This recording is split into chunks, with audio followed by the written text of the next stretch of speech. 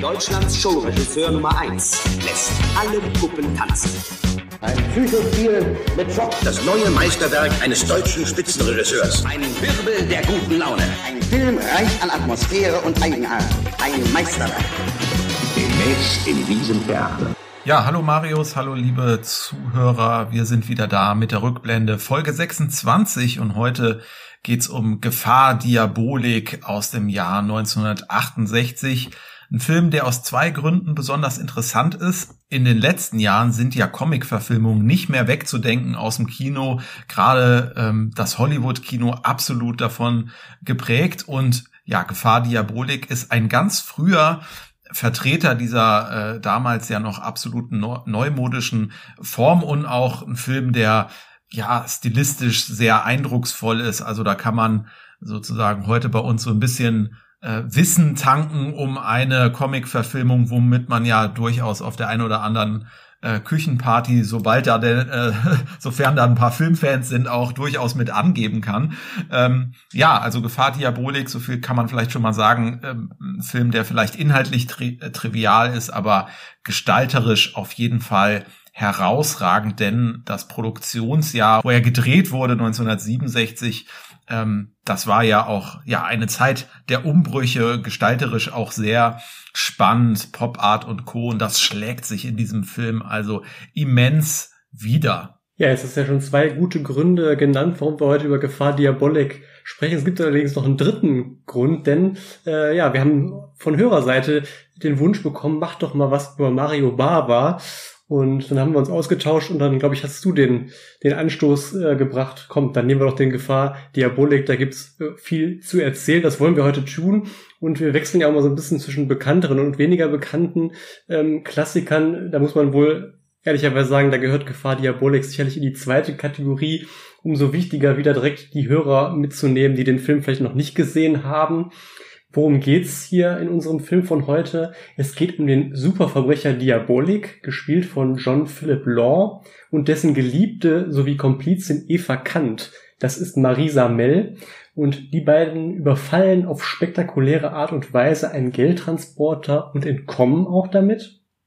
Und die Polizei um Inspektor Ginkgo das ist Michel Piccoli, setzt alles daran, Diabolik zu fassen und kooperiert dazu sogar mit dem Mafia-Boss Belmont, gespielt von Adolfo Celli. Ja, und ein Grund, warum wir uns den Film ausgesucht haben, weil wir das Genre ja auch noch nicht äh, bearbeitet haben. Ich meine, bei Mario Bava hätte sich natürlich und da kommen wir auch noch äh, zumindest kurz drauf zu sprechen. Seine Krimi, seine Horrorfilme hätten sich auch angeboten, aber hier haben wir es eben mit einer Comic-Verfilmung zu tun.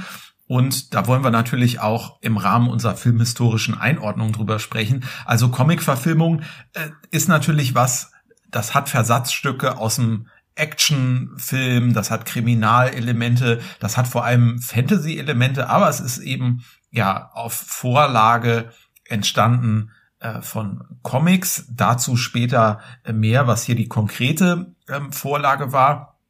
Ja, warum sind Comics eigentlich auch beliebt für Verfilmungen. Es ist ja einerseits naheliegend, denn Comics haben per se erstmal einen sehr plakativen Stil. Äh, man denke nur daran, dass man in der Präproduktionsphase auch mit Storyboards arbeitet, wo man, äh, die ja äh, im Prinzip visuell sehr verwandt sind mit äh, Comics. Also ähm, da liegt natürlich ein Comic nahe, sich zu überlegen, hm, wie würde da eine filmische Umsetzung aussehen. Und insofern auch in der Stummfilmzeit findet man schon zahlreiche Beispiele, wo eben Comics, Comic-Strips auch umgesetzt wurden. Andererseits, was natürlich dann immer eine große Herausforderung ist, ist, es gibt ja häufig eben diesen Fantasy- oder auch Science-Fiction-Bezug.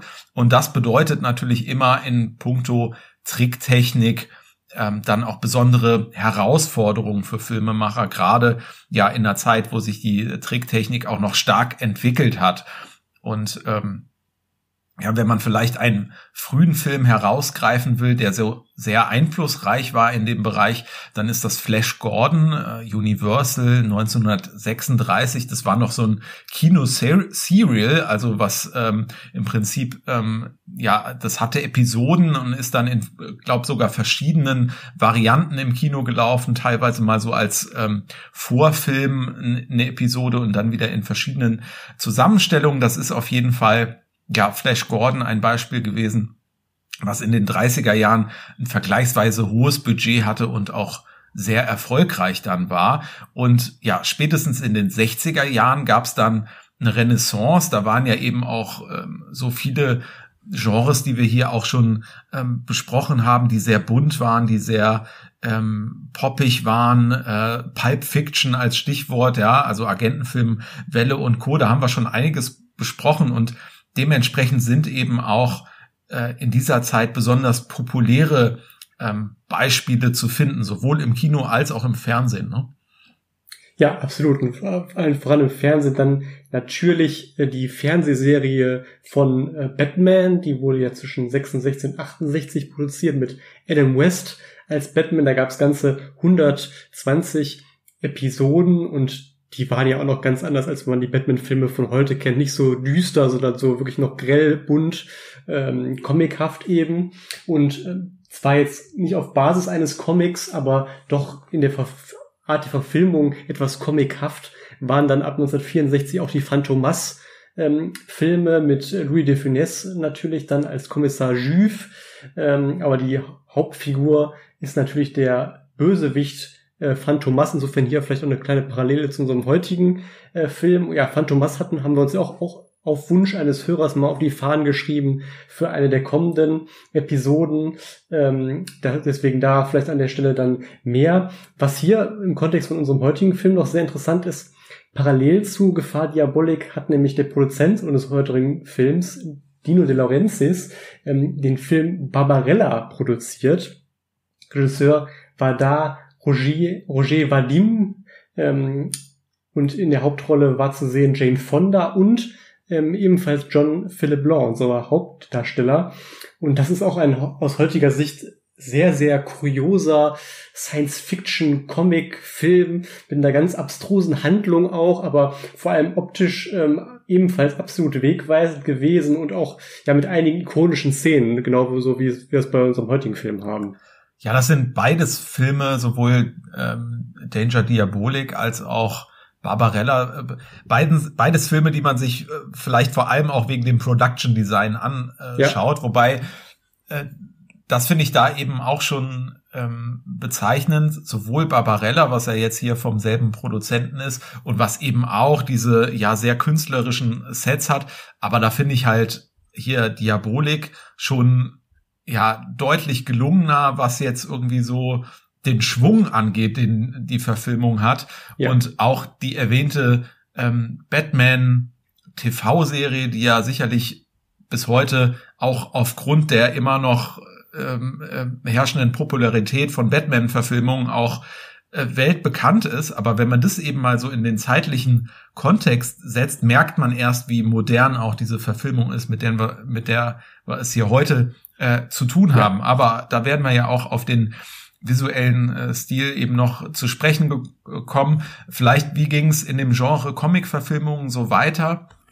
Eben ja schon ein Stichwort so Agentenfilmwelle. Da kann man auch sagen, das haben wir ja hier auch besprochen, so Ende der 60er Jahre, Anfang der 70er Jahre, da wurde es ja ruhiger um den Agentenfilm und eigentlich kann man auch sagen, ja, das war so zeitgleich auch so ein bisschen ähm, eine Flaute für so Comic-Verfilmungen. Man hatte da eben in den 60er Jahren unglaublich viel ausprobiert und dann wurde es da etwas stummer und eigentlich so ein richtiger ähm, äh, ähm, ja, Leuchtturm war dann 1978 die Superman-Verfilmung und zwar von Richard Donner, den haben wir ja hier auch schon mal äh, besprochen im Zuge von Lethal Weapon. Das war seine ähm, ja große ähm, Actionfilmreihe, für die er auch steht, aber Superman war eben auch eine sehr erfolgreiche Verfilmung mit Christopher Reeve in der Hauptrolle. Gene Hackman war noch mit dabei und übrigens auch Marlon Brando, den wir das letzte Mal schon besprochen haben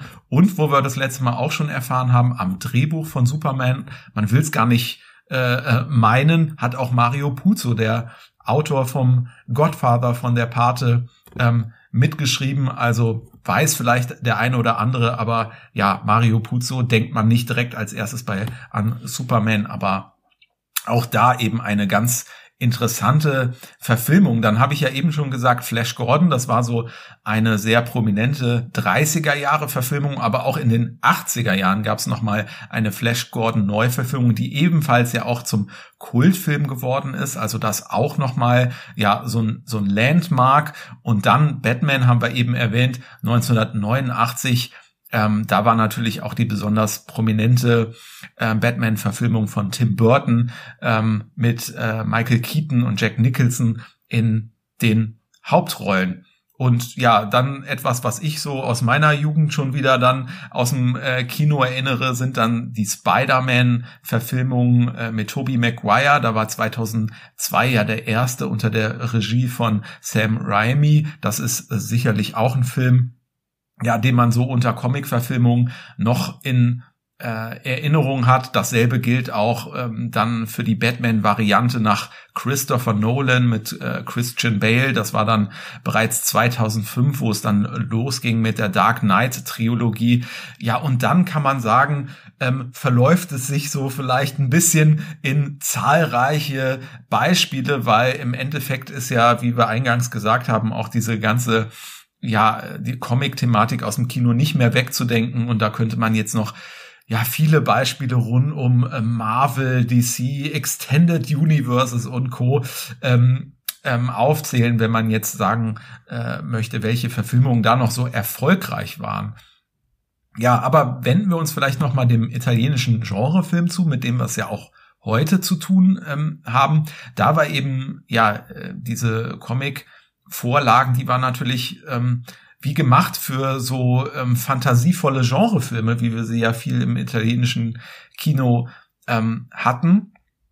Und insofern findet man da eben auch Beispiele wie eben Danger Diabolik, aber es gibt auch andere Beispiele. Auch da haben wir über die entsprechenden oder die entsprechenden Personen sind uns da auch schon ähm, begegnet. Zum Beispiel 1967, also mehr oder weniger parallel hier die drei Supermänner äh, räumen auf. Ähm, das ist ja ein Film, der quasi mit diesem Kommissar X-Gespann ähm, entstanden ist, also Regisseur Gianfranco Parolini mit seinen beiden Kommissar X Hauptdarstellern Tony Kendall und Brad Harris. Ähm, die haben wir ja hier eben im äh, Zuge von einem Kommissar X-Film auch schon ausführlich besprochen und da gab es eben auch eine Comic-Verfilmung ähm, die drei Supermänner räumen auf und ja, da kann man jetzt diskutieren. Es ist eben so, ähm, so eine Comic-Verfilmung ähm, ähm, birgt auch Gefahr, denn wenn es äh, nicht gut gemacht ist, ne, kann diese Comic-Thematik natürlich sehr schnell auch albern ähm, wirken. Also bei den drei Supermännern ist das vielleicht zumindest streckenweise so der Fall, sage ich mal, wenn es auch ähm, ja sehr unterhaltsam ist.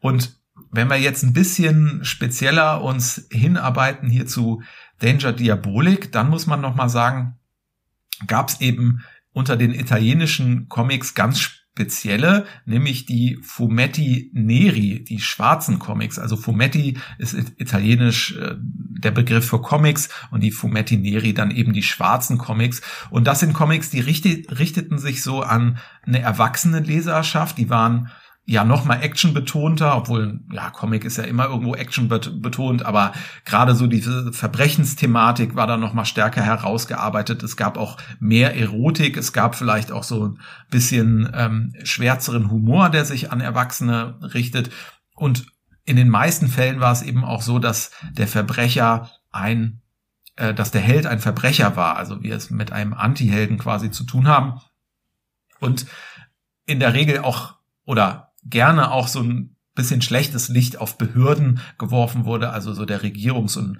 Polizeiapparat, der hat dann entweder nicht richtig funktioniert oder ähm, hat dann entsprechend schlecht interagiert mit dem jeweiligen ähm, Helden. Also das war schon ganz anders als so die Machart amerikanischer Comics, wo ja doch so, ne, Superman und Co. heroische Kämpfer auch so für die amerikanische Idee. Man könnte also so ein bisschen auch sagen, der Fumetti Neri äh, war vielleicht so im Comic-Bereich so ein bisschen die Entsprechung auch zu dieser Western-Geschichte. Also da ist ja auch der Ital äh, Italo-Western so der oder das düstere Gegenüber so von diesem idealisierten amerikanischen Western-Held und ja, insofern ist der äh, Vergleich vielleicht dann auch gar nicht äh, so weit hergeholt. Und ja, die ganz konkrete ähm, Grundlage hier ähm, ist dann eben ein Comic, der in Italien sehr bekannt ist und wahrscheinlich zu den bekanntesten Vertretern auch bis heute zu diesen Fumetti Neris gehört. Ja, genau. Und erschaffen wurde er quasi von zwei Schwestern, nämlich Angela und Luciana Giusiani. Ich hoffe, ich habe es jetzt einigermaßen richtig ausgesprochen. Ähm, und zwar gibt's die Comics seit 1962 und ähm, muss auch sagen, sie erscheinen bis heute in Italien in wirklich hoher Auflage. In Deutschland kennt man sie eher nicht so. Da gab es vor 20 Jahren etwa mal so einen Versuch, die auf den Markt zu platzieren vom Verlag E. Harper. Der hat mal so sechs Bände rausgebracht. Aber weltweit gesehen haben sich die Hefte schon ähm, über 150 Millionen Mal verkauft. Das ist ja schon eine sehr ordentliche Zahl und Diabolik als Hauptfigur ähm, ja, wer so ein bisschen sich mit Sprachen beschäftigt, kann sich schon erschließen, dass das natürlich ähm, irgendwas mit diabolisch und Teufel zu tun hat. Genauer gesagt, das kommt aus dem Griechischen und ist eben die Entsprechung für Teufel. Genau. Und durch den großen Erfolg der Comics lag es natürlich dann durchaus nahe, das Ganze auch mal filmisch umzusetzen. Und da muss man sagen, hatte zunächst der Produzent Tolino Cervi, das ist übrigens der Sohn von Gino Cervi, dem Pepone aus den Filmen von Don Camillo und Pepone, der eine oder andere hat sie sicher gesehen. Der hatte die Idee, ähm, als erstes ähm, das filmisch umzusetzen und das war am Anfang so geplant als eine richtige, ja, Prestigeproduktion, ne, mit mehreren Co-Produktionspartnern wollte man Geld zusammenlegen und hatte auch für die Hauptrollen durchaus große Pläne, nämlich man wollte sie besetzen mit Alain Delon und Claudia Cardinale. Die hatten nämlich jetzt zuvor schon zusammen in den Film Rocco und seine Brüder und wir hatten es letztes Mal erwähnt, in dem Film Der Leopard von Visconti zusammengearbeitet und dachte man, ja, die beiden, das passt doch. Letztlich hat man es dann aber anders gelöst und zunächst Jean Sorel und Elsa Martinelli engagiert und dann auch, man höre und staune, mit den beiden unter der Regie von Seth Holt den Film auch erstmal abgedreht. Dann kam aber ähm, zwischenzeitlich ähm, der Produzent Dino De Laurentiis ähm, zur Produktion dazu. Und als er sich das Rohmaterial anges angesehen hat, ja, muss er wohl so entsetzt gewesen sein, ähm, dass er gesagt hat, wir müssen das nochmal ganz anders aufziehen und den Film nochmal ganz neu drehen, was natürlich auch sehr, sehr selten vorkommt. Also es muss wirklich schlimm gewesen sein. Und ähm, ja, dann hat er veranlasst, den Film wirklich komplett neu zu drehen, neue Besetzung, neue Regie. Bisschen Kosten konnte man vielleicht dadurch wieder einsparen, dass man ähm, die Sets dann teilweise auch für Barbarella ähm, wieder verwendet hat. Ja, als Budget ähm, standen damals 2 Millionen Lire zur Verfügung. Das sind wohl etwa drei Millionen Dollar gewesen und das Box Office waren 265 Millionen Lire, also etwa vier Millionen Dollar. Also jetzt kein Riesenerfolg, aber jetzt auch kein totaler Flop. Genau, und gedreht hat man dann April bis Juni 1967, ähm, ja, natürlich in den Studios von Dino De Laurentiis, wo eben auch Barbarella entstanden ist. Ähm, ich habe die Filme jetzt nicht direkt hintereinander ähm, geschaut. Ich habe mir sagen lassen, so das ein oder andere kleine ähm, Piece, was irgendwo im Hintergrund ist, da kann man wohl irgendwie auch tatsächlich irgendwie noch was finden, wo man sagt, ach, guck mal, das kommt doch irgendwie hier in einem anderen Film auch vor. Ähm, wie gesagt, habe ich jetzt selber nicht gesehen. Ähm, aber ansonsten, ja, hat man in der Gegend von Rom und in ja ein, zwei anderen Gegenden von Italien gedreht. Und dann wollen wir mal über den Mann sprechen, der natürlich hier Dreh- und Angelpunkt hinter der Kamera ist. Das ist Mario Bava. Ähm, es ist ja schon ein bisschen ja, deutlich geworden, dass er vor allem ein Regisseur ist, der heute so für einen ähm, sehr ja, besonderen visuellen Stil auch ähm, steht. Aber wie ist er überhaupt zum Film gekommen? Also sein Vater arbeitete als Kameramann, da hat er assistiert hat darüber den Einstieg ins Filmgeschäft gefunden. Sein Sohn ist übrigens auch ähm, heute ähm, Regisseur oder soweit ich weiß immer noch ähm, als Regisseur tätig. Ich glaube, so Ende der 90er Jahre ist jetzt also so das letzte Credit in seiner Filmografie. Also ähm, wenn der jetzt auch schon wieder äh, Kinder hat, die vielleicht beim Film tätig sind. Das entzieht sich dann meiner Kenntnis, dann wäre es schon die vierte Generation, aber ansonsten die Barbers seit äh, drei Generationen dann eben ähm, mindestens beim Film tätig. Mario Barbers erster Film oder seine erste richtige Regiearbeit äh, war auch eigentlich äh, schon ja sein vielleicht bekanntester Film äh, von 1960, Die Stunde, wenn äh, Dracula äh, kommt. Bava hatte vorher schon ähm, an Horrorfilmen mitgewirkt, hatte da unter anderem Filme von Ric äh, Ricardo Freda fertiggestellt, äh, so den Horrorfilm Vampir von Notre Dame auch. Also Ricardo Freda, äh, manchmal auch als Richard äh, Freda oder Richard Freda bezeichnet ist, vielleicht dem einen oder anderen, der unsere Edgar Wallace Besprechung ähm, gehört hat oder äh, da eben auch Fan ist, ja sicherlich ein Name, der tauchte nämlich in diesen späteren deutsch-italienischen Co-Produktionen auf, und zwar beim Gesicht im Dunkeln. Und ja, Freda äh, hatte sich eben mit den Produzenten bei dieser Produktion Vampir von Notre Dame äh, überworfen, weil er irgendwie den Produktionsplan nicht einhalten konnte und dann übernahm Bava die Regie, wickelte da die Dreharbeiten sehr effizient ab. Also das war ein Ruf, der ihn auch so ein bisschen begleitet hat, dass er eben sehr effizient gearbeitet hat. Unterm Strich ein sparsamer Filmemacher war, aber ähm, der Film trug darunter keinen äh, hat davon kein Leid getragen, waren immer visuell sehr ja besondere Filme und äh, insofern hat er sich da bei diesen Fertigstellungen ähm, im Prinzip schon einen guten Ruf bei den Produzenten erarbeitet und die Stunde, wenn Dracula kommt, war dann eben seine erste richtige Regiearbeit. Man erinnert sich da vielleicht vor allem an äh, Barbara Steele, die mit äh, ja diesen äh, pechschwarzen Augen als untote Hexe Ada in diesem ähm, Film vorkommt und äh, Dracula hat auch nur dem deutschen Verleihtitel nach etwas äh, in diesem Film zu suchen.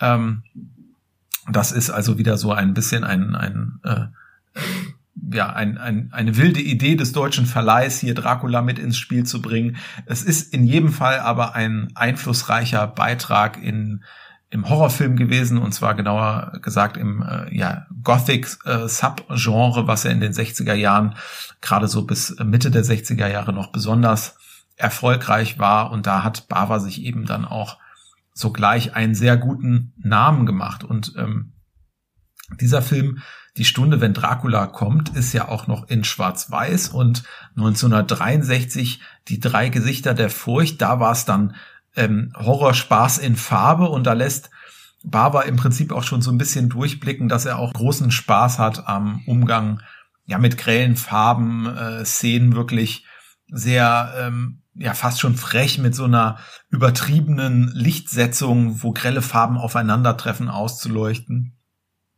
Und ja, bei den drei Gesichtern der Furcht, äh, die drei Gesichter, das sind drei sehr unterschiedliche ähm, ja, Krimi, teilweise Grusel- oder Horror-Kurzgeschichten, die da verarbeitet sind. Äh, wer hier ist auch wieder so eine Person, die heraussticht. Das ist Boris Karloff, also natürlich auch so im Horrorfilm-Genre. Dann wiederum ein großer Name, der hier als Vampir Gorka auftaucht. Da gibt's so Szenen, wo er dann durch so eine ja unheimliche, sehr mystische, nebelverhangene Landschaft reitet ähm, die Szenen hat man, wenn man den Film gesehen hat, vielleicht noch so ähm, vor Augen und da merkt man äh, schon, dass gerade so ja die Inszenierung von äh, eben so mystischen ähm, Szenen auch etwas war, was Bava unglaublich gut ähm, gelegen hat. Äh, das konnte er auch noch mal beweisen bei der Dämon und die Jungfrau 1963 auch wieder so ein Gothic-Horrorfilm. Diesmal war es Christopher Lee. Also er hat, es haben sich so die äh, Genregrößen da auch äh, die Klinke in die Hand äh, genommen. In weiteren Rollen war dann auch noch Dalia Lavi ähm, dabei und Tony Kendall. Ähm, da ist er wieder ähm, unser ähm, Kommissar X. Ja, und dann sind wir im Prinzip bei 1964 Blutige Seide, einem ganz einflussreichen Film, ähm, wenn es jetzt um die weitere Entwicklung des Kriminalfilms dieser Jahre auch äh, geht. Da spielt Cameron Mitchell mit Eva Bartok und ja, der deutsche Thomas Reiner taucht da auf als römischer Inspektor Silvestri. Ähm, es geht um einen Serienkiller im Milieu der italienischen Modeszene und was diesen Film so besonders macht. Er schließt einerseits eigentlich perfekt an diese ähm, Edgar Wallace Krimiwelle ähm, stilistisch an. Also gerade wenn man so an die Verfilmungen von Alfred Vorer denkt, ähm, da haben wir ja auch schon verschiedene Filme von ihm hier besprochen und ähm, wissen ja auch, dass Vorer jemand war, der auch äh, ja einen besonderen visuellen Stil hat, der in seinen Szenen immer so mit grotesker Übertreibung äh, gearbeitet hat. Und das findet man bei Blutige Seide eben 1964 auch wieder. Ähm, andererseits, also, naja, oder man kann sagen, einerseits stark beeinflusst eben von diesen Edgar Wallace-Filmen, ob bewusst oder unbewusst. Ähm, andererseits nimmt es ein bisschen was vorweg dann ähm, von dieser Farb-Wallace-Ära, denn da haben wir ja gerade Mönch mit der Peitsche hier auch schon mal als Besprechung gehabt, wo es auch schon so ein überzeichnetes Farbenspiel gibt, wo auch die Inszenierung der Morde eigentlich immer außergewöhnlicher wird, ne, mit diesem peitschenschwingenden Mönch. Und Blutig, Blutige Seide ist eben auch ein Film, wo so die Inszenierung der Morde ja sehr äh, besonders ist. Das hat da einen besonderen Stellenwert. Es ist fast lustvoll inszeniert und äh, da sind es eben die Mannequins, während es beim äh, Mönch mit der Peitsche die Internatsschülerinnen sind. Da gibt's auf jeden Fall eine bestimmte ähm, Nähe und nicht umsonst ähm, bezeichnet man blutige Seide eben als äh, auch als so ein Ur-Giallo, also stilprägend für das Giallo-Genre, was ja seinerseits auch immer genannt wird als etwas, was sich so ja aus der Edgar Wallace-Welle auch so ein bisschen herausentwickelt hat. Und ja, beim Giallo ist es ja auch per se so, dass die visuelle Inszenierung der Morde eben einen äh, besonderen Stellenwert hat, dass auch wie bei Wallace Atmosphäre, visuelle Inszenierung ja ganz klar vor Plot und Logik angesiedelt ist. Und ja, manch einer sagt auch, dass blutige Seide im Prinzip auch schon so ein bisschen ein Grundstein ist für das Slasher-Genre und ja, sowohl die Weiterentwicklung des Jallos als auch äh, die weitere Grundsteinlegung ähm, für die Slasher-Filme, die kam ja dann auch so richtig im in Schwung in den folgenden Produktionsjahren, unter anderem durch so Leute wie Dario Argento.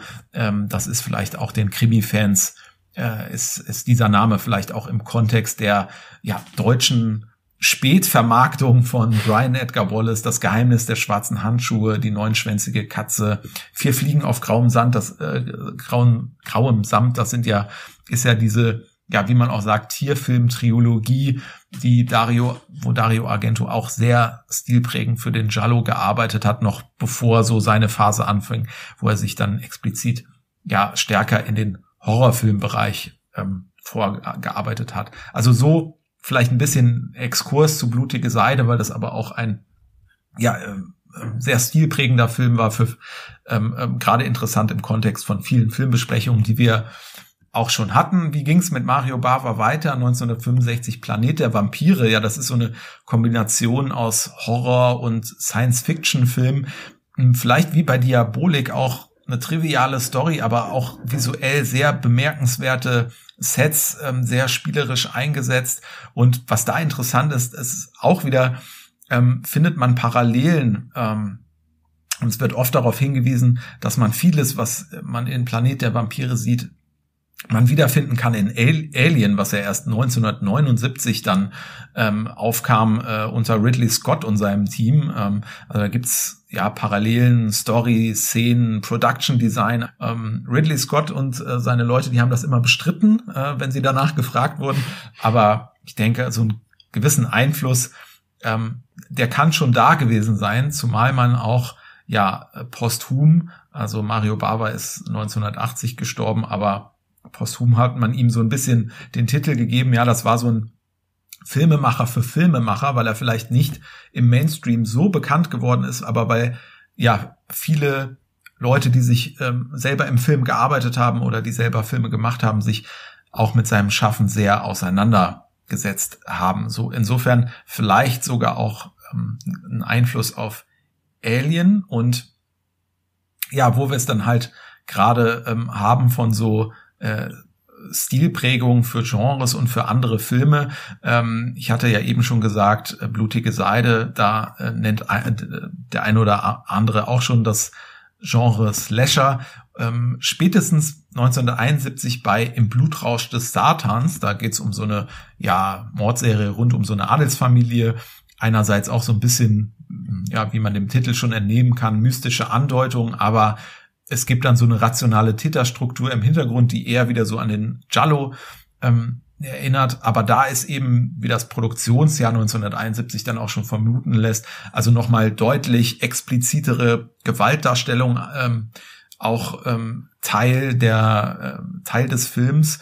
Und spätestens da ist es dann relativ eindeutig und man kann auch sagen, dass Mario Bava da wiederum ein Mitbegründer vom Slasher-Genre war. Also Slasher, das sind ja dann diese Horrorfilme, wo meistens so eine, äh, wo es so eine bedrohte Gruppe von Teenagern oder jungen Frauen gibt und dann, ja, gibt's dann in der Regel einen Serienkiller, der sich dann so durch die Gruppe arbeitet und es gibt dann gewisse Genre-Codes, äh, wer dann da überlebt und so. Da ist im Prinzip Halloween von John Carpenter, auch äh, hier schon bekannter Name, vielleicht so ein Film, wo man sagen kann, das ist dann so ein wirklich ausgereifter Vertreter von diesem Genre. Ähm, und später wurde es eben immer wieder aufgegriffen, Scream und so weiter. Aber eben auch da erste Faktoren, Einflussfaktoren, die man im, später immer wieder gefunden hat, dann eben auch schon bei Mario Bava. Also insofern ist es wirklich so, er hat ähm, viel beeinflusst, viel unterschiedliches filmisches äh, Werk, was auch im äh, danach noch entstand, mit beeinflusst, war aber zu, zu seiner Zeit eigentlich ähm, ja wirklich noch nicht so ähm, berücksichtigt jetzt in außergewöhnlicher Weise. Ähm, eher aus heutiger Sicht genießt er einen Ruf ähm, ja als wirklich außergewöhnlicher und wegweisender Regisseur, aber muss man auch sagen, vergleichsweise immer noch bei einem Nischenpublikum, weil ja klar im, im Mainstream, wie du ja schon eingangs gesagt hast, sowohl Gefahr Diabolik als auch der Name Mario Bava jetzt kein Name, der jedem etwas sagt, aber umso schöner, dass wir hier sein ähm, Werk dann irgendwie auch mal herausarbeiten und und würdigen. Und das sind vor allem diese genannten Filme dann auch aus den 60er Jahren, Anfang der 70er Jahre. Man muss sagen, so ein bisschen 70er Jahre war ja dann ein kriselndes ähm, Filmgeschäft. Äh, da konnte er auch nicht mehr so ähm, an seine Erfolge anschließen, zog sich dann auch schon im Laufe der 70er Jahre mehr und mehr aus dem Filmgeschäft zurück. Ja, und wer wahrscheinlich noch mehr ähm, in Vergessenheit geraten ist über die Jahre als Mario Bava. Das ist wohl unser Hauptdarsteller von heute, John Philip Law. Aber man muss sagen, auch er war in den 60ern durchaus gut im Geschäft. Ähm, 1966, also kurz vor unserem heutigen Film, hatte er etwa in dem ja, stargespickten Film Die Russen kommen von Norman Jewison, auch den haben wir schon häufiger in unserem Podcast erwähnt gehabt, ähm, mitgewirkt an der Seite von Darstellern wie Ellen Arkin oder Eva Marie Saint. Ähm, das war so eine Satire auf den Kalten Krieg und da wurde er dann auch schon mit dem Golden Globe als bester Newcomer ausgezeichnet, also durchaus hoffnungsvolles Talent damals angesehen. Ähm, Im, Jahr, im folgenden Jahr gab es dann den Film Morgen ist ein neuer Tag mit Michael Caine und Jane Fonda, mit der er dann auch im selben Jahr äh, Barbarella zusammen gedreht hat, wie schon erwähnt. Ebenfalls 67 dann noch hat er gedreht von Mann zu Mann, ein Italo-Western mit Lee Van Cleef, ja auch einer absoluten Ikone ähm, des Genres. Und in den 70er Jahren war er dann auch Teil eines dieser ja hochkarätig besetzten Katastrophenfilme. Ähm, diesem Genre wollen wir uns ja dann in der kommenden Folge äh, mal etwas näher widmen und dabei eben dabei in Treffpunkt Todesbrücke an der Seite von Größen wie Burt Lancaster, Sophia Loren oder Eva Gardner und mit der deutschen Brille vielleicht noch ganz interessant. 1978 hat er in einer Verfilmung von Der Schimmelreiter ähm, der Novelle von Theodor Storm, die ja der ein oder andere in der Schule lesen durfte oder musste, je nachdem. Ähm, und da hat er die Hauptfigur Hauke Hein ähm, gespielt, an der Seite von Gerd Fröbe. Ja, und wenn wir uns jetzt seiner Figur im vorliegenden Film, dem Diabolik, einmal nähern möchten, dann muss man sagen, ähm, kann man da auch wie so oft in Filmen schon sehr, sehr viel ähm, in der Einführungsszene so herauslesen, ne, wo er dann, ähm, wo es zu einer Geldübergabe kommt und Diabolik die Polizei ja überlistet. Da merkt man dann als Teil des Publikums sofort, ja, der Diabolik, das ist ein ganz, ganz gerissener Verbrecher und ja auch im weiteren Handlungsverlauf kommt es ja dann immer wieder zu so ja absolut hochprofessionell äh, aufgezogenen Aktionen, ähm, etwa das ist dann so im zweiten Drittel, da kommt zu so einem Raubzug, ähm, wo er einen Smaragd erbeutet, da klettert er auch mit so Saugnäpfen und so einem Tarnanzug ein Gebäude hoch. Also, also alles ganz, ganz äh, clever und wie gesagt hochprofessionell angelegt. Wohlgemerkt, äh, er klettert mit den Saugnäpfen an einem, einem Steinturm hoch, ne? Also so wirklich festsaugen Stimmt, Steinturm, könnte, äh, ja, kann, ist, kann ja. er äh, kann er sich da eigentlich an diesem Mauerwerk nicht, aber man nimmt das dann so, man nimmt das dann so ab, natürlich. Ja, gab's ja dann auch jetzt Jahrzehnte später nochmal in einem der letzten Mission Impossible Filme, ne, wo Ethan Hunt dann am Bush Khalifa auch mit Saugnäpfen an der Außenwand ja hochklettert. Also ähm, sieht immer gut aus auf jeden Fall in Filmen, wie ich finde. Und ähm, ja, was man auch sagen kann, ist ähm, ja Diabolik. Ähm, er lebt sein Leben nach absolut eigenen Regeln und äh, pfeift so ein bisschen auf äh, staatliche Autoritäten. Das wird auch sehr, sehr schnell ähm, deutlich anhand seines Verhaltens gegenüber der Polizei und auch ähm, ähm, anhand äh, eines Anschlags, den er dann ja ähm, auch verübt auf das Finanzministerium. Ne? Ja, und wo du das gerade noch mal so sagst, äh, da haben wir auch das Heiß-Thema wieder mit drin, äh, weil Stimmt. das haben wir jetzt in der Genre-Einordnung gar nicht äh, genannt, Richtig. aber das ist auch ein Einflussfaktor, den man hier oder äh, so ja im Prinzip so ein bisschen dramaturgisches Modell, was man hier auch wiederfindet.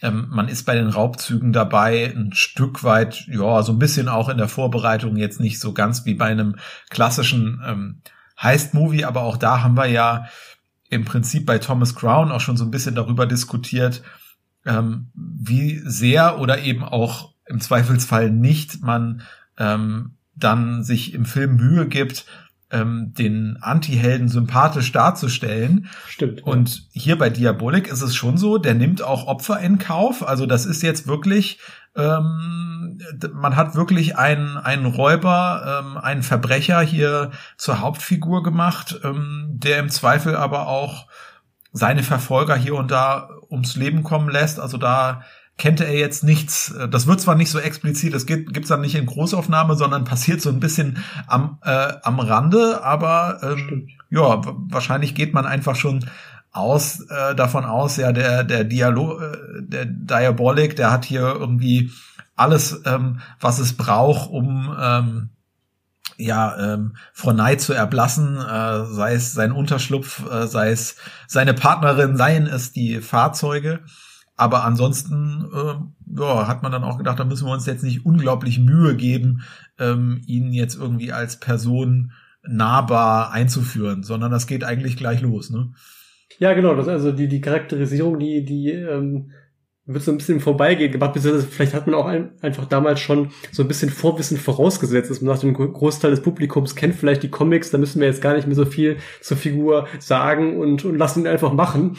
Ähm, jedenfalls, ähm, wie du ja auch schon angedeutet hast, ähm, äh, wo du deine Ausführungen zu den Comics eben machtest, ähm, er ist ja hier wirklich ein Bösewicht und damit ja ein absolutes absoluter Gegenentwurf ja auch zum amerikanischen Superhelden. Ne? Also bei den amerikanischen äh, Co- Comicfiguren, die aus auf die Leinwand gemacht haben, haben wir es ja in aller Regel auch mit positiv besetzten Figuren zu tun, sei es jetzt Superman, Batman, Iron Man und wie sie alle heißen. Und das ist jetzt hier eben dann gerade nicht der Fall, sondern eher wieder die Parallel zu einem, wenn es auch kein Comic war, aber Phantomas, ne, wo er auch die Hauptfigur letztlich dann der Bösewicht ist. Und Dienstfahrzeug hast du schon erwähnt. Das ist auch wieder äh, ganz witzig, wenn äh, man vielleicht die Folgen unseres Podcasts verfolgt hatte. In einer unserer ersten Folgen haben wir uns ja mit Jerry Cotton befasst und der ist, wird ja immer auch oder ihn verbindet man ja auch immer ganz prominent mit seinem roten Jaguar und auch hier Diabolek hat ja ein Jaguar, nicht nur einen, sondern gleich mehrere Jaguar als Gefährt. Ja, das ist immer so ein bisschen kurios, ne, wenn man da so im Detail dann mal so bei den Totalen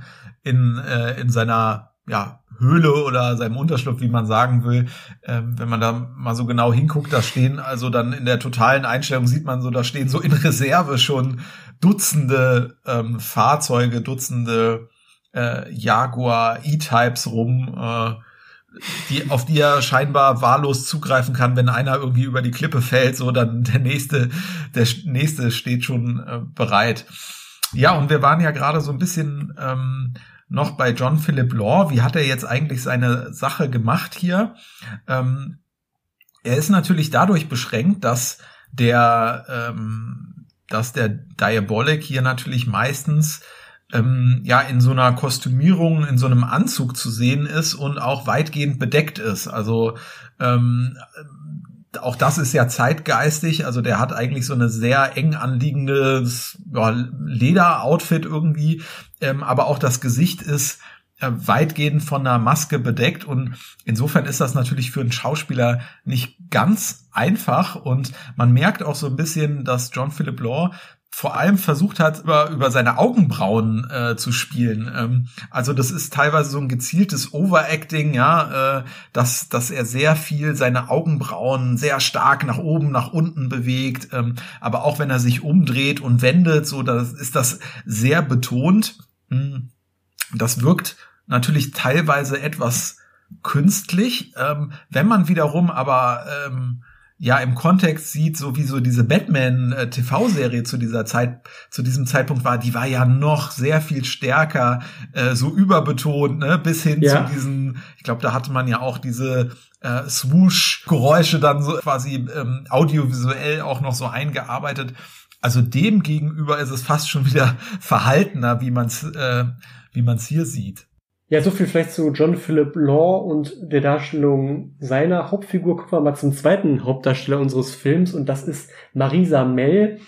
Marisa Mell für mich immer so ein bisschen, ja, so ein Musterbeispiel für eine etwas unglücklich äh, verlaufende Karriere. Sie war Teil einer unheimlich berühmten Jahrgangsstufe ähm, am Max-Reinhardt-Seminar in Wien um äh, bekannte Namen wie Senta Berger, Erika Plua oder Heidelinde Weiß und ähm, ja, wir äh, beleuchten ja vieles auch, haben wir eben schon bei Mario Barber auch gesehen, so ein bisschen auch unter der Edgar Wallace Brille und das kann man bei Marisa Mell natürlich auch mal wunderbar tun, denn sie hat in zwei Edgar Wallace Filmen mitgewirkt, allerdings auch nicht diejenigen, die, wenn man jetzt Leute auf der Straße nach Edgar Wallace Titeln fragen würden, dann direkt als erstes kommen würden. Es handelt sich nämlich um die Filme Das Rätsel der roten Orchidee und Das Rätsel des silbernen Halbmonds, einmal 1962 und einmal 1971, also einmal relativ am Anfang der Reihe und der zweite Film war ja dann auch der letzte der Reihe. Ne? Gerade an ihr oder an den Rollen, die sie da hat, kann man so, finde ich, exemplarisch auch ganz gut die Entwicklung der Reihe ablesen. Also sie hat ja bei ähm, dem Rätsel der roten Orchidee so eine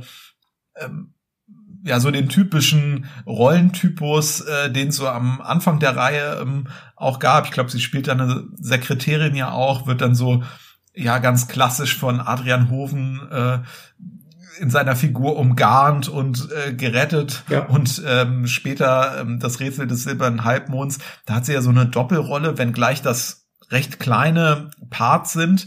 Ähm, aber eine der beiden Figuren wird er ja von so einer Bohrmaschine malträtiert. Ähm, da merkt man dann schon, die Reihe ist äh, irgendwie dann auch in diesem ja härteren Giallo-Genre, über das wir eben schon gesprochen haben, ähm, angekommen. Äh, in der deutschen Fassung gibt's, glaube ich, dankbarerweise dann einen Schnitt. Sonst sage ich das ja nicht, aber in dem Fall sieht man, glaube ich, in der internationalen Fassung dann irgend so ein Close-up, wo ja, diese Bohrmaschine in irgendwas Vorbereitetes da reinfährt und das Blut äh, nur so spritzt. Ähm, das könnte man ihr dann irgendwie als Ausstieg aus der äh, Wallace-Reihe dann irgendwie ja äh, so auch nicht.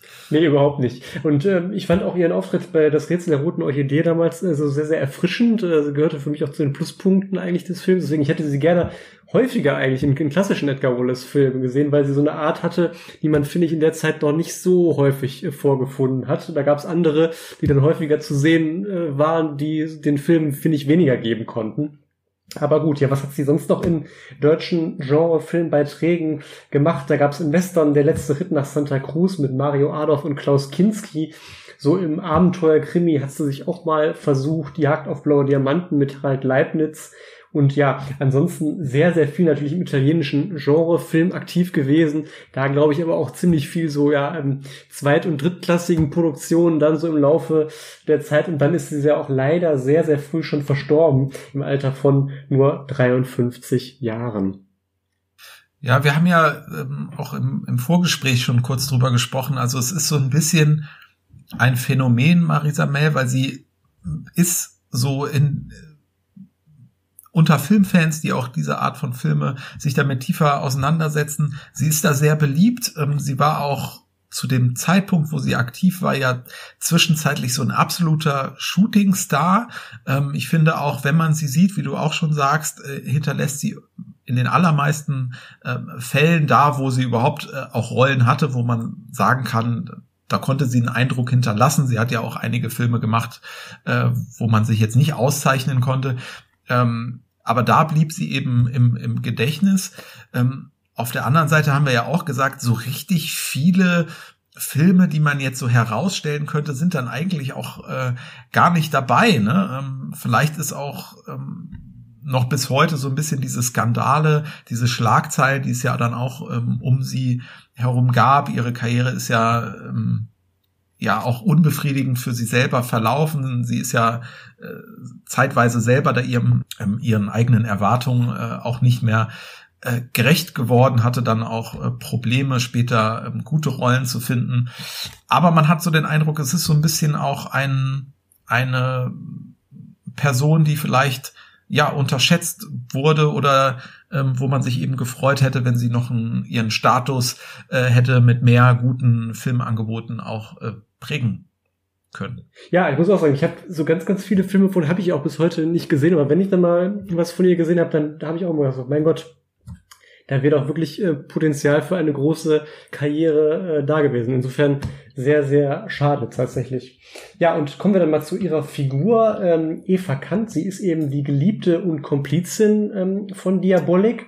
Und was ich so sehr bemerkenswert ähm, fand, äh, man sieht die beiden relativ früh auch schon zusammen in gemeinsamen Szenen, aber ich glaube, so der erste richtige Dialog zwischen beiden, ähm, den bekommt das Publikum dann erst nach so etwa 30 Minuten, also nach gut einem Drittel der Filmhandlung zu sehen. Und auch in dieser Szene sprechen sie eigentlich kaum miteinander. Also das fand ich so ganz, ganz bemerkenswert. Aber ich glaube, generell kann man auch sagen, ähm, der Film ist jetzt nicht unbedingt von Dialogen geprägt, sondern eben, wir haben es ja auch schon herausgebreitet, sehr von der Optik. Und das kann man, glaube ich, ja an der Figur Eva Kant ganz gut festmachen. Ne? Ja, wir haben es ja auch gerade schon ein bisschen gesagt. Ähm, auch in dem Film muss man letztendlich sagen, ist sie wahrscheinlich vor allem besetzt worden, weil sie unglaublich gut aussieht und äh, Kamera und Regie setzen ihren Körper ja hier auch sehr aufreizend in, äh, in Szene. Die Figur ist interessant, aber sie hat jetzt natürlich nicht unglaublich viele Ebenen äh, in so einer Comic-Verfilmung hier. Aber sie aufreizend in Szene zu setzen, das kann man ja auch äh, gut oder äh, schlecht machen. Und hier ist es ja so, ähm, ist eine so,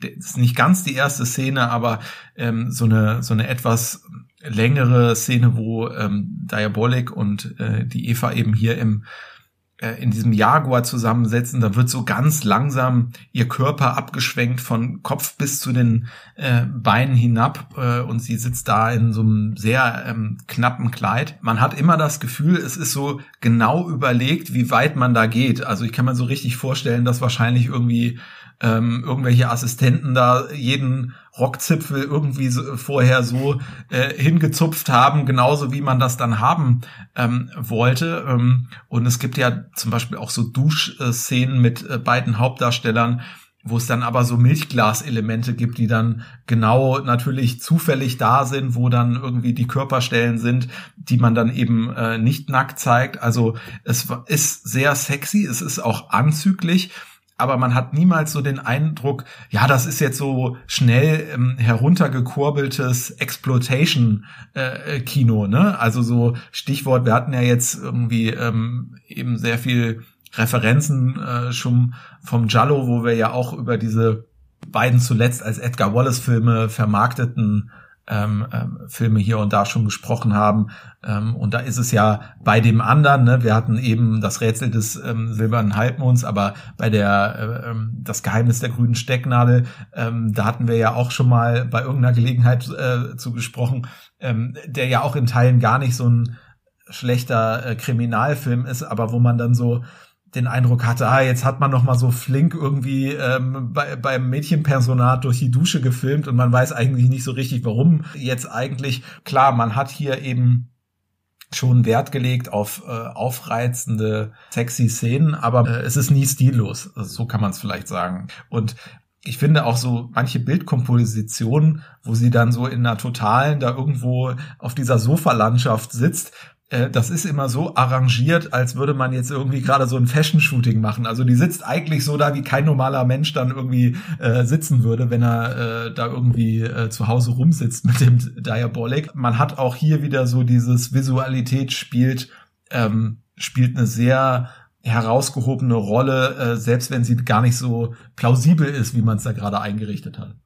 Nee, absolut. Also sie wird da schon sehr, sehr gut in, in Szene gesetzt und sie macht da auch viel draus. Also was man vielleicht noch abschließend zu Marisa Mill auch nochmal sagen kann, finde ich, sie, sie sieht auch ähm, optisch eigentlich damals so aus wie, wie auch Frauen von heute. Das ist auch, hat man, finde ich, auch selten. Also sie könnte auch als eine Frau von 2022 durchgehen. Das ist vielleicht auch ein Grund, warum sie heute noch ähm, durchaus populär ist. Ja, und ähm, wer dann auch im Auftrag ja sogar der Polizei dann letztlich Jagd auf Diabolik und Eva macht. Das ist der Gangster Ralph Valmont und der wird gespielt von Adolfo Celi. Jetzt vielleicht nicht namentlich, aber sicherlich optisch ähm, Fans des europäischen Genre-Films ähm, sicherlich ähm, bekannt. Ähm, allen voran natürlich als Bond-Bösewicht Emilio Lago 1965 in Feuerball, der Mann mit der Augenklappe. Das Bild haben sicherlich noch einige Bond-Fans im Kopf. Ja, und wo hat man ihn noch gesehen? 1964 an der Seite von Jean-Paul Belmondo in Abenteuer in Rio ähm, 1966, ich glaube, den Film hattest du in den letzten Folgen auch schon mal erwähnt, ähm, Das Geheimnis der gelben Mönche, ja auch so ein Agentenkrimi irgendwie mit Stuart Granger, Karin Dohr, Kurt Jürgens. Ja, also ein, ein, ein hübsch hässlicher, wie Pater Brown sagen würde, Agentenfilm. ja, genau. Ähm, und äh, ja, 1966 dann auch nochmal in einer richtig amerikanischen Produktion sogar, unter der Regie von John Frankenheimer, Grand Prix, ähm, ja, mit James Garner unter anderem. Ähm. Ist übrigens auch ein Film, äh, wo wir ja heute sehr viel über Visualität und Ästhetik sprechen, ist auch ein Film für, für Ästheten. Also da ist auch Handlung äh, dünn, äh, aber ja. Grand Prix, also wer ähm, Formel 1 Fan ist, äh, sollte ja, auf jeden Fall mal äh, Grand Prix gesehen haben. Geht, geht glaube ich auch fast fast drei Stunden oder so, aber es ist auf jeden Fall sehr sehr schöne Rennszenen und ja, nee, finde ich auch absolut, glaube ich auch in Monaco dann äh, ähm, gedreht. Ja, und wo du jetzt eben schon so viel über Giallo gesprochen hast, das hat natürlich einen Darsteller wie Adolfo Celli auch im Repertoire, unter anderem äh, The Child äh, mit ja keinem geringeren als dem einmaligen Bond-Darsteller George Lazenby, ja auch ganz bemerkenswert und, und ja Anfang der 80er schon so zum Ende seiner Karriere hin konnte dann auch nochmal in dem Komödienhit Gift dem Affen Zucker mit dem damaligen Erfolgsduo Adriano Celentano und Ornella Mutti mitwirken.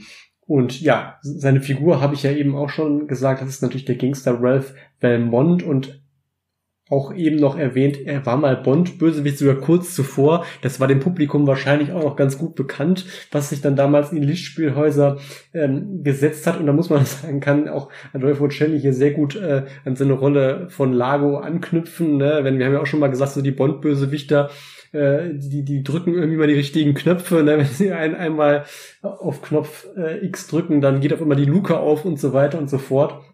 Und das macht er ja hier auch, ähm, indem nämlich er Handlanger per Knopfdruck durch die Luke aus dem Flugzeug ähm, fallen lässt. Und ja, was ich da auch irgendwie so ganz nett fand, dann noch in dem, auch in dieser Szene, dann macht er im Grunde auch den Fehler, den ja auch, glaube ich, äh, Gerd Fröber als Goldfinger gemacht hat. Ne? Er schießt, was man ja nie machen sollte, im Flugzeug wild herum und es kommt dann auch, zu, zu, zu Löchern oder zumindest einem Loch und ja, das wird dann aber, ja, wahrscheinlich ähm, technisch jetzt nicht 100% kohärent, aber äh, in der Weise gelöst, ein Handlang einfach dieses Loch dann mit einem Kaugummi zustopft. Fand ich auch sehr nett. Wir hatten ja auch gesehen bei unseren Recherchen, dass äh, hier und da ja mal so gesagt wird, naja, äh, Gefahr Diabolik, da gäbe es so eine Nähe zu Feuerball, die sehe ich jetzt eigentlich nicht. Das wird wahrscheinlich daran liegen, dass Adolfo äh, Celi äh, da irgendwie auch äh, zwischenzeitlich auf einem Boot rumsteht und äh, wie du ja. sagst, eben Feuerball auch noch nicht so lange her war. Das ist natürlich das verbindende Element und dann gibt's eben ja genrebedingt natürlich äh, äh, Sachen. Im weiteren Sinne. Ja, ja. aber sonst ähm, würde ich das jetzt so nicht feststellen. Was ich nochmal festgestellt habe, und das gilt wahrscheinlich auch für eine ganze Reihe von Filmen, wo so ähm, ja eben äh, so Gangsterbosse umher äh, wandern und dann äh, zahlreiche äh, ja oder so eine Bagage dann um sich haben. Ähm, der der die Figur hier Ralph Valmont und auch der Adolfo Celi, diese, der ist ja da schon so ein bisschen ergraut, ne? Also ist ja schon ein älterer Herr und äh, diese Poolpartys und äh, diese Leute, die dann auf seinem Boot da rumhängen, die sind ja schon sehr jung, also fast schon so ein bisschen jugendlich anmut, äh, anmutend. Einerseits die jungen Damen, die sich da irgendwie immer sonnen, aber durchaus auch so andere Typen, die da irgendwie rumstehen.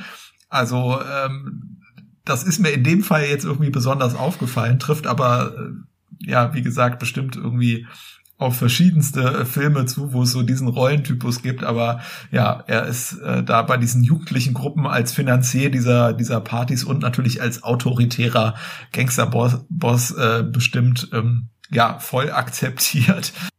Ja, das sind so diese äh, Elemente, über die man immer wieder schmunzeln muss, aber vielleicht auch einer der Gründe, warum man sich die Filme immer wieder ganz gerne ähm, anschaut. Ja, und ähm, ich habe ja eben schon gesagt, er wird letztlich beauftragt von der Polizei konkret. Und äh, die Polizei wird ja hier ähm, verkörpert von Inspektor Ginko und das ist auch ein richtig schauspielerisches Schwergewicht, muss man sagen, ähm, nämlich Michel Piccoli. Ja, ein absolut begnadeter Charakterdarsteller, der sich aber auch mal nochmal so hier und da, ähnlich wie ein Jean-Louis Trintignant, vielleicht so Auftritte im Genrefilm mal herausgenommen hat. Ähm, wenn man vielleicht da seine Karriere mal kurz Revue passieren lässt, aus aktuellem Anlass fällt vielleicht der Titel Die Verachtung ähm, auf. Jean-Luc Godard, der Regisseur, ist ja vor wenigen Tagen verstorben und da hat äh, Michel Piccoli auch mitgewirkt, ähm, an der Seite von Brigitte Bardot. Fritz Lang spielt ja dort sich selbst. Das war so ein bisschen der Durchbruch für Michel Piccoli. Dann hat er in den 60ern auch in zwei berühmten Filmen mit Catherine Deneuve ähm, gespielt. Einmal berühmt-berüchtigt Belle de Jour, Schöne des Tages von äh, Louis Buñuel und dann in dem Musicalfilm Die Mädchen von Rochefort, wo ja die beiden Schwestern Catherine Deneuve und ähm, Françoise d'Orléac gemeinsam äh, zu sehen waren. Musik übrigens von Michel Legrand, den wir ja schon bei Thomas Crown so ein bisschen ähm, thematisiert haben. Und dieser Film, Die Mädchen von Rochefort, war übrigens auch eine der Inspirationsquellen für den ja, letzten Musical-Film-Hit, den wir, glaube ich, so hatten in den letzten Jahren, La La Land. Ähm, und 1969 ging es dann ähm, weiter im Agentenfilm, der, wie ich finde, ja doch auch recht unterschätzte Hitchcock-Film Topaz, äh, da hat Michel Piccoli auch mitgewirkt. Dann sicherlich auch zwei Arbeiten, mit der man ihn heute sehr verbindet, nämlich an der Seite von Romy Schneider ging es dann auch 1969 und 70 weiter, jeweils unter der Regie von Claude Sauté, Die Dinge des Lebens und das Mädchen und der Kommissar. Und jetzt habe ich ihn eben schon erwähnt, Jean-Louis Trintignant. Mit ihm hat Michel Piccoli den, wie ich finde, sehr sehenswerten Polit-Thriller Das Attentat ähm, gedreht. Musik übrigens auch ähm, Ennio Morricone wie im heutigen Film, genauso wie in dem Werk Der Maulwurf, in der Michel Piccoli an der Seite von Lino Ventura zu sehen war, 1982 ebenfalls sehr zu empfehlen. Und so muss man sagen, hat Michel Piccoli wirklich noch bis ins hohe Alter tatsächlich gedreht und ist dann auch erst, ja, vor zwei Jahren verstorben. Zur Figur muss man sagen, ich glaube, der Inspektor Ginko ist ja schon in diesem Diabolik, ich nenne es jetzt mal Universum, eine relativ zentrale Figur.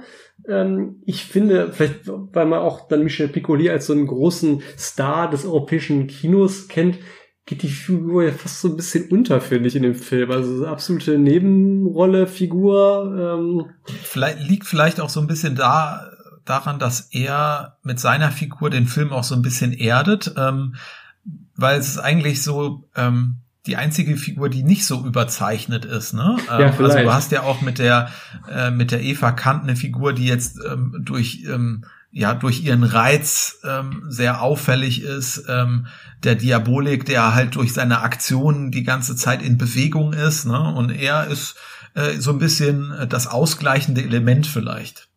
Ja, So kann man es sicherlich ähm, sehen. Ja, und jetzt haben wir, glaube ich, so die zentralen Figuren und die Darsteller einmal kurz vorgestellt. Dann kommen wir jetzt mal wieder zu den ja, weiteren besonderen Szenen und auch der Analyse im Übrigen. Und da haben wir ja auch schon hier und da, glaube ich, angedeutet, der Film zeichnet sich besonders auch aus durch seine Produktionsgestaltung und hier vor allem natürlich durch die Sets ähm, obwohl das Budget ja jetzt gar nicht so riesig war, zumindest wenn man jetzt mal äh, vielleicht den damalig ähm, zur gleichen Zeit produzierten James Bond Film erlebt, so nur zweimal so als Referenz han, heranzieht, dann muss man sagen, ja, können sich die Sets absolut sehen lassen und ja, einfach ähm, sind einfach so ein Beispiel für so eine sehr, sehr schöne 60er Jahre Optik, finde ich. Ja, absolut. Und auch, ähm, wenn wir eingangs über Batman gesprochen haben, ähm, und wir hier noch in den 60er Jahren sind, äh, also die berühmte Batcave, ja, die hat ja auch ähm, diverse Varianten durchgemacht, aber hier die Variante 60er Jahre, ähm, die wird hier locker in den Schatten gestellt von dieser opulenten, ja, ist das eigentlich auch eine Höhle? Ich würde es als Höhle bezeichnen, was ja, äh, Diabolik da hat, aber ähm, ja, da fährt er ja mit seinem Fahrzeug dann rein. Wir haben schon gesagt, da stehen dann noch äh, Dutzende andere ähm, Jaguars äh, rum. Das Ganze sieht sehr groß aus, auch dank trickreicher Kombination von Miniaturmodellen und eben äh, Set-Decors in den äh, Studios von Dino de Laurentiis. Ähm, und das Ganze sieht eben hypermodern aus für die damalige Zeit. Also das sind jetzt im Prinzip, ähm, ist genau sehr der Punkt, dieses Production Design, wo auch wirklich ähm, die moderne zeitgenössische Kunst sich wiederfindet, denn wir haben hier wirklich eine total spektakuläre Farb- und Formgebung. Ähm, also man merkt, da werden deutlich Trends aufgegriffen. Einerseits äh, von dem, was man so im Pop-Art äh, dieser Jahre gesehen hat.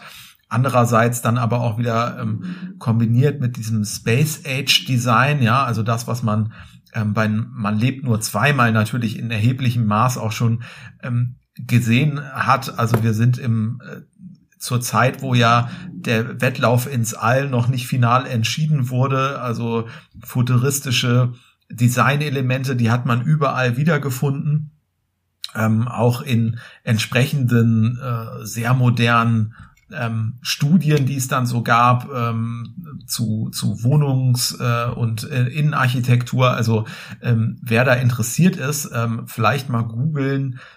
Werner Panton, das ist so ein äh, Designer, der hat hier in, in Hamburg unter anderem die Spiegelkantine. Das ist hier im, äh, mittlerweile steht die im Museum für ähm, für, äh, ich glaube, sage ich es jetzt richtig, Museum für Kunst und Gewerbe oder äh, Kunst und Gestaltung. Ich glaube für Kunst und Gewerbe, MKG Hamburg. Ähm, da ist die mittlerweile ausgestellt. Also äh, die verbindet auch schon so ein äh, typisches äh, 60er Jahre Design mit dem, was, was früher eben so als hypermodern äh, galt. Und da gibt es so verschiedene ähm, ja, Entwürfe von so Wohnhöhlen wirklich. Ähm, wenn man das vergleicht mit den Set-Designs von Gefahr Diabolik, ähm, dann sieht das sehr ähnlich aus. Joe Colombo ist auch so ein Name, der so ja, Wohnarrangements gemacht haben, die sehr futuristisch damals aussehen. Und wir hatten es ja immer hier, wieder hier auch schon in diesem Podcast, wenn es so um Designelemente ähm, ging, dass sich die Filmemacher eben auch beeinflussen lassen von dem, was man auf Weltausstellungen, Kunstausstellungen und dergleichen sieht. Das ist hier in erheblichem Maße eben der Fall. Futuristische Elemente, aber auch so fluide, organische Formen, die man sieht. Also es ist wirklich ähm, ja ähm, etwas, wo man sagt, wenn man sich für 60s Design interessiert, blättert man in einem 60s Design Buch oder man guckt sich Gefahr Diabolik an. ähm, und insofern, äh, weil das hier so einen besonderen Stellenwert hat, möchte ich auch nochmal erwähnen, neben Mario Bava hier als Art Director Flavio Morgherini und ähm, als Kameramann oder Director of äh, Photography, DOP, wie auch immer man will, Antonio Rinaldi. Und ja, wenn man vielleicht nochmal so über verschiedene Szenen ähm, rund um diese besonders bemerkenswerten Sets denkt, da gibt's natürlich diese Sofa-Landschaft, ähm, wo äh, Diabolik und Eva nach so einem erfolgreichen Raubzug sich dann in Dollarnoten äh, statt in äh, Bettwäsche wälzen. Das sind natürlich so ja besonders ikonische Szenen, äh, wenn man die einmal gesehen hat, dann bleiben die in Erinnerung, aber auch die anderen Dinge, die man da sieht. Also der Jaguar ist auch zwischenzeitlich auf so einer Drehbühne, die wirklich wie in so einem äh, sehr äh, modernen Showroom inszeniert ist. Und dann gibt's auch noch so eine Kommandozentrale, die so total ähm, psychedelisch daherkommt. Also das ist eigentlich ein, ein wilder Kunsttrip irgendwo. Ja, ja, absolut äh, ikonische Bilder. Also das ist wirklich, wenn man da so ein bisschen so ein Fable für hat, äh, kann man da, glaube ich, sehr, sehr viel äh, Spaß mit dem Film auch haben auf dieser Ebene. Und wo du gerade schon psychedelische Kommandozentrale gesagt hast, äh, ähm, da gibt's ja auch noch wieder so eine andere Szene, die auch wieder so, so typisch so End-60er äh, ist irgendwie, nämlich so eine Hippie-Party, ähm, wo, wo dann auch so, so Psychedelic Rock äh, gespielt wird und ähm, die hat mich dann auch wieder so an diese Spätwolle, ich glaube bei Gesicht im Dunkeln gab's gibt's auch so eine komische Hippie-Party ja. und da habe ich mich so ein bisschen drin gewähnt, also äh, so, so eine Szene gibt's dann halt auch wieder. Ne? Ja, da läuft Klaus Kinski auch mal irgendwie durch sowas grell, grell erleuchtetes irgendwie und äh, ja. ja, aber also hier diese Hippie-Party, das ist ja auch eigentlich nur so eine Sequenz, wo gar nicht so viel erzählt wird, sondern es ist eigentlich auch durch dann die Filmmusik unterlegt, eigentlich ähm, ja fast wie so ein kurzer Break, äh, wie so ein Musikvideo ja. in, in, in sich. Ähm, aber das ist auch tatsächlich jetzt so was so, ähm, wenn man so als wahnwitziges Zeitdokument betrachtet, ist mir ähm, keine andere Szene bekannt aus einem Film, die eigentlich so viel psychedelic Atmosphäre ähm, äh, in sich trägt. Also da hat man wirklich diesen Aspekt auf die Spitze getrieben.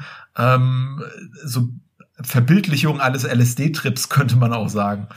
Ja, definitiv. Und ja, was, was ich noch so eine ganz äh, witzige Szene auch fand, ähm, da kommt es im Laufe der Handlung, ähm, ja auch ähm, zu einer, nachdem Diabolik schon das ein oder andere ähm, erfolgreiche Unternehmen umgesetzt hat, ja auch zu einer Pressekonferenz mit dem Finanzminister, der dann schon äh, sehr, sehr erbost ist und dann ähm, sagt, ja, bei mir täuscht sich der Herr, ich lasse mich nicht lächerlich machen. Und ähm, genau in dem Moment äh, fangen dann alle Leute auf der Pressekonferenz an zu lachen, weil Diabolik ähm, da schon zuvor äh, Lachgas verteilt hat. Und das ist für, dann finde ich auch nochmal so ein ganz, ganz äh, netter Moment. Ja, da hat man auf jeden Fall im Drehbuch auch äh, für so schöne Timing-Gags äh, gesorgt und auch diese Fi Figur des Finanzministers ist wieder so eine, die ja auch sehr überzeichnet ist, aber gleichzeitig nicht so, dass man jetzt den Eindruck hat, ach, ähm, das ist jetzt, das wirkt jetzt total albern, weil man der Situation nicht gewachsen ist, sondern weil man das so überzeichnet, überzeichnen wollte. Also es ist eigentlich eher so eine Karikatur eines Finanzministers, wie man es da sieht. Ne? Genau, wird ja auch übrigens gespielt, das haben wir, glaube ich, unterschlagen von äh, Terry Thomas, der auch ein durchaus ähm, bekannter englischer Schauspieler ähm, und Komiker war, kennt man zum Beispiel auch aus dem Film Die tollkühnen Männer in ihren fliegenden Kisten 1965, ähm, der das hier, finde ich, auch sehr, sehr gut spielt. Ja, nachdem er da auch den ähm, dem Finanzminister da wieder so im übertragenen Sinne ein Bein gestellt hat, ähm, geht es natürlich im Verlauf der Handlung immer so weiter und äh, ja, so zum Finale hin ähm, plant Diabolik dann eben noch einen gro weiteren großen Coup und ähm, vollzieht den auch, ähm, indem er nämlich einen Goldklumpen ja auf sehr spektakuläre Art und Weise entwendet und auch mit so einem Unterwasserfahrzeug flieht und dann passiert allerdings was. Er möchte nämlich diesen Klumpen dann in kleinere Stücke umgießen und dabei kommt es dann zu einer Explosion und man denkt zunächst, Diabolik ist tot und äh, weil er dann so in Gold eingegossen erscheint. Ähm, und dann in, ist so ein bisschen Cut, glaube ich, und dann sieht man, wie ähm, er in so einer Art ja Ausstellung steht, also wo sich dann die, die Behörden so ein bisschen damit rühmen, ja, guck mal, wir haben Diabolik doch end, end, endlich gestellt und wie so eine Art Mahnmal steht ja dann quasi da so in Gold eingegossen und die Leute können sich, wenn sie wollen, ihn ansehen. Das soll dann nochmal so ein bisschen positive Publicity wahrscheinlich auch den Behörden geben, nach Motto, guck mal, wir haben doch alles im Griff. Und dann ist so ganz netter Abschluss eigentlich, weil dann kommt nämlich Eva Kant auch dahin und ja, möchte ihrem Diabolik nochmal so einen Besuch abstatten. Und dann ähm, sieht man ähm, in dem Moment, wo sie vor ihm steht, dass Diabolik ihr zublinzelt und man weiß, okay, Diabolik hat es schon überlebt. Natürlich sollte, wollte man sich da offenbar von Produktionsseite wahrscheinlich auch eine Hintertür für mögliche Fortsetzungen offen halten, zu denen es aber dann ja leider nicht gekommen ist. Ja, Musik haben wir jetzt eben schon am Rande erwähnt, ähm, ist natürlich von Ennio Morricone, über den haben wir schon bei unserer Folge zu Leichenpflastern seinen Weg eingehend gesprochen. Ähm, ja, ich meine, bei Morricone kann man glaube ich immer sagen, es ist immer sehr gut hörbar. Ähm, ich finde auch hier diesen Easy Listening Song schon im Vorspann sehr, sehr gut und ähm, ja, allgemein ein typischer Morricone in dem Sinne, dass es einfach auf sehr hohem Niveau komponierte Musik ist, oder? Ja, total. Also ähm, der Vorspann ist ja generell sehr gelungen, auch schon so ein Element, was sehr ähm, arti, arzi so daherkommt. Äh, alles dreht sich wie so eine Schallplatte im Hintergrund. Der Song ist sehr gelungen und das ist eben einer dieser Songs, äh, die besonders spielerisch sind. Also es gibt ja so natürlich diese actionbetonten Stellen im Film. Es wird mitunter erotisch. Wir haben diese Hippie-Party, über die wir gerade gesprochen haben. Und ähm, all das war, glaube ich, so eine Einladung dann auch an Ennio Morricone, sich da auszutoben. Und das hat er eben gemacht. Und ich finde, die ähm, verschiedenen Musikstücke sind sehr abwechslungsreich, sehr unterschiedlich. Und ähm, würde sagen, es ist eine der besten Arbeiten ähm, von Morricone, jetzt so abseits dieser weltbekannten Meisterwerke, die jetzt äh, so jeder kennt. Er hat ja auch, äh, sage ich mal, in diesen ähm, Giallo-Film hat er ja auch sehr tolle Spannungsmusik äh, gehabt. Das ist vielleicht auch nochmal so ein äh, Feld, wo er sehr gute Arbeit gemacht hat. Aber gut, das hörst du dir jetzt, das hörst du dir jetzt nicht mal so noch an. Das kann man mit der Musik hier machen. Äh, dafür finde ich sie unglaublich äh, gelungen. Also ich höre das auch äh, mir so immer mal ähm, gerne an und habe das so in meinen entsprechenden Retro-Playlists äh, durchaus auch drin. Dann kommen wir vielleicht auch schon ein bisschen zum Fazit können ja mal so ein bisschen rekapitulieren. Wie sehen wir hier diesen ähm, Film? Das Ganze hier ist künstlerisch, aber eben auch in gewisser Weise künstlich. Das darf es als Comic-Verfilmung ähm, aber auch sein. Ich finde aber vor allem, es ist immer stilsicher, ne? Und das hatte ich eingangs schon ein bisschen angedeutet. Das unterscheidet diesen Film vielleicht auch auch von, von anderen Versuchen, Comic-Verfilmungen umzusetzen. Ähm, ich finde wirklich, dass Regie, Kamera, Musik, Schnitt, das verbindet sich vor allem audiovisuell sehr, sehr eindru eindrucksvoll. Es gibt auch einen sehr temporeichen Einstieg mit diesen ähm, Raubzügen, ähm, die es rund um äh, Diabolik dann gibt. Wir haben natürlich diese opulenten Bildwelten. Ähm, man könnte ja hier wirklich fast schon von so Pop-Art-Orgien sprechen, finde ich. Ähm, ja, ähm, dann dieses Overacting ist auch irgendwie Teil des Films, ähm, ob man das jetzt gut oder schlecht findet. Es gibt ja im Übrigen auch diese ähm, äh, die Beastie Boys haben ja ein Musikvideo ähm, mit Szenen aus diesem Film verschnitten, wo sie irgendwie gesagt haben, naja, äh, es wurde ja so, sowieso früher viel so gearbeitet, dass du irgendwie in den totalen Stunt-Leute eingesetzt hast und bei den äh, Nahaufnahmen hast du dann die eigentlichen Schauspieler erst gesehen und äh, da haben sie es eben genau so gemacht, dass sie diese Nahaufnahmen alle ersetzt haben, aber man ständig so total äh, in äh, totale Aufnahmen aus diesem Film, in diesem Musikvideo ähm, sieht und da parodieren sie auch dieses Overacting ganz, ganz nett, aber das nur neben, nebenbei. Ähm, also ich würde sagen, unterm Strich, ja, das ist natürlich inhaltlich absolut trivial. Ich glaube, das merkt man auch daran, dass wir jetzt heute über die Handlung im Endeffekt ja gar nicht so viel ähm, gesprochen äh, haben, aber ähm, es macht eben total Spaß. Und ich finde, wenn man jetzt so ein bisschen gucken will, was kann man auch kritisieren, natürlich gibt's hier auch Durchhänger. Also ich finde so die zweite Filmhälfte, da kommt dann irgendwann so Raubzug an Raubzug.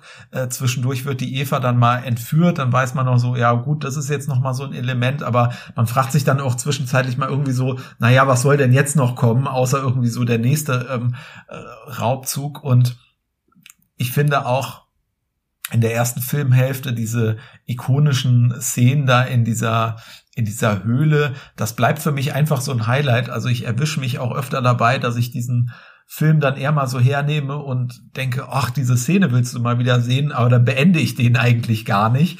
Ähm, das spricht ja auch schon so ein bisschen äh, für sich, aber nichtdestotrotz, ja, sollte man ihn auch durchaus mal ähm, durchsehen, weil er eben so tolle Schauwerte hat, weil er einfach ein toller Film für 60s Design-Fans ist und äh, total interessant eben auch für Comicfilm-Historiker, weil es eben ja zu dieser Zeit auch ein gar nicht so bekanntes, aber halt sehr bemerkenswertes Beispiel aus diesem Genre auch einfach ist. Wie geht's dir? Ja, ich muss sagen, ich habe den Film tatsächlich jetzt zum ersten Mal äh, gesehen und ähm, so mein erster Eindruck war einfach, dass es für mich jetzt nochmal, man, wenn man, gerade wenn man auch ja dann doch schon das eine oder andere gesehen hat, ist es, freut man sich ja immer nochmal, wenn man so, so ein so ein Kleinod einfach entdeckt äh, mit so Aspekten äh, oder mit so Elementen, die man vielleicht noch gar nicht so äh, vorgefunden hat. Und das war einfach so eine Erfahrung für mich. Also ich habe wirklich Spaß gehabt an dieser Optik, an diesen ikonischen Szenen.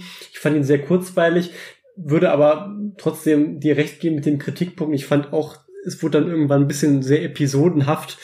Und klar, die Figurenzeichnung bleibt natürlich oberflächlich, aber genau, unterm Strich, ja, ein Film, den ich mir sicherlich noch häufiger angucken äh, werde an aufgrund der Elemente, die du, glaube ich, schon äh, genannt hast. Einfach diese Optik. Ich habe ja auch schon, glaube ich, zusammen mit Thomas Crown gesagt, dass ich ja so für Stil über Substanz durchaus zu haben bin. Und ich glaube, ähm, da ist der Film dann so genau das Richtige für diese Leute.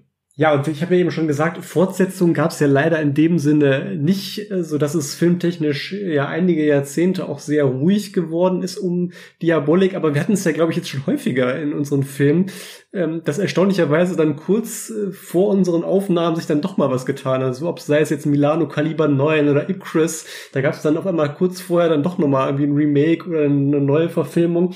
Und so ist es bei Diabolik interessanterweise auch wieder, denn im Jahr 2021, ähm, also erst letztes Jahr, ähm, ist tatsächlich ein äh, ja, neuer italienischer Film ähm, auf Basis der Comics erschienen. Ähm, er ist leider in Deutschland nicht veröffentlicht worden, da haben wir ihn jetzt auch nicht sehen können. Ich glaube, theoretisch kann man sich die italienische Blu-ray bei Amazon.it irgendwie oder, oder bei anderen Online-Shops ähm, bestellen, wenn man die italienischen Sprachen natürlich irgendwie mächtig ist oder einem das letztlich egal ist. Ähm, aber ich habe zumindest ähm, in den Trailer mal reingeschaut und fand so, ja, optisch machte das so einen sehr soliden Eindruck und was man so hört und liest, ähm, die Darstellerin der Eva Kant, ähm, die hat auch wohl einen Preis auf den Filmfestspielen von Bari gewonnen als bester weiblicher Hauptdarsteller und für Ende 2022 ist auch schon eine Fortsetzung angekündigt worden. Also ähm, das deutet ja alles darauf hin, dass diese Neuverfilmung nicht ganz so verkehrt gewesen sein kann. Zumal die Neuverfilmung tatsächlich noch sehr neu ist,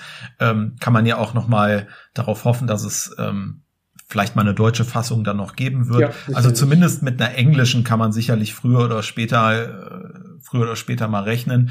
Ähm, mir ging es auch so, dass ich natürlich sehr neugierig war und dementsprechend über Irrwege dann also ähm, irgendwo mal so eine ähm, italienische Fassung aufgefunden habe, ähm, um da zumindest die mal anzuspielen. Also da ich auch der Sprache nicht mächtig bin, äh, konnte ich den Film natürlich nicht gucken, aber es hat gereicht, um dann hier und da äh, mal reinzugucken und dann so ein bisschen ja zu schauen, wie fühlt sich das an. Und äh, ich war eigentlich auch insofern beeindruckt, dass es eben echt cooler Retro-Look ist, ohne aber jetzt so eine direkte Anbiederung an, an das, was man jetzt aus der heute besprochenen äh, Verfilmung, äh, aus dem heute besprochenen Film kennt. Ähm, also so in puncto Production Design, das sah echt ganz gut aus. Mehr kann ich noch nicht sagen. Und ja, vielleicht apropos Irrwege. Äh, wir sagen ja hier auch immer so ein bisschen, ähm, gibt es den Film äh, auch auf DVD oder Blu-ray ähm, zu genießen. Ähm, da muss ich jetzt ein bisschen vorsichtig sein, wie ich mich da ausdrücke, denn letztlich ist das ja alles nur so ein bisschen Hörensagen. Äh, es gibt eine kursierende DVD ähm, mit deutschem Ton, die dem Vernehmen nach äh, aber ein sogenanntes Bootleg ist. Äh, das heißt, Bootleg würde ja bedeuten, äh, irgendjemand hat also diese DVD rausgebracht, aber eigentlich ähm, sind da so die Lizenzgeschichten gar nicht wirklich geklärt. Äh, wie gesagt, ich habe da keine Hintergrundinfos äh, zu. Äh, habe nur davon gelesen, also in diversen Foren war von Bootleg die Rede. Ob das so ist, wie auch immer, äh, weiß ich nicht, aber das ist Stand der Dinge da. In anderen Märkten sieht's anders aus. Da gibt's mittlerweile eine Blu-ray, die, glaube ich, ein ähm, tolles Bild auch äh, bietet. Nur da muss man dann eben auf den deutschen Ton verzichten. Genau, ansonsten gibt's den Film auch digital zu leihen bei so den, den gängigen, ich glaube zumindest bei Amazon gab's, gibt's den, ähm, ähm, ich denke auch bei anderen großen digitalen ähm, Streaming- und Leih- Allerdings da auch nur in der, in der Originalfassung, so viel ich weiß. Ne? Also die deutsche Fassung ist dann tatsächlich rar gesät. Ja, stimmt. Ja, und ich habe es ja eben schon angedeutet, glaube ich. Ne? In der nächsten Folge wollen wir uns dann mal dem amerikanischen Katastrophenfilm widmen. Offen gelassen habe ich aber noch, um welchen Film es konkret geht. Und da haben wir uns mal ja vielleicht nicht die allernaheliegendste Variante ausgewählt, aber trotzdem ein Film, der, denke ich, den Fans des Genres durchaus was sagt. Es handelt sich nämlich um den Film Die Höllenfahrt der Poseidon von 1972 mit immerhin Gene Hackman in der Hauptrolle. Ja, und dann äh, wünschen wir euch bis dahin äh, katastrophenfreie Wochen äh, und Tage und ja, dann widmen wir uns der Höllenfahrt der Poseidon dann also in der nächsten Episode hier der Rückblende und ja, freue ich mich auch schon drauf. Bis dann. Ja, ich auch. Bis zum nächsten Mal. Tschüss.